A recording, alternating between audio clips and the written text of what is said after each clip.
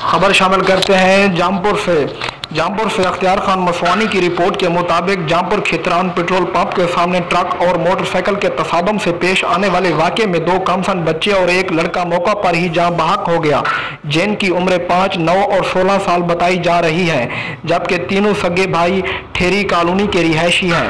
Rescue one one two two ने जहाँ बहक अफराद को डिस्ट्रिक्ट हेडक्वार्टर राजनपुर मुंतकिल कर दिया है।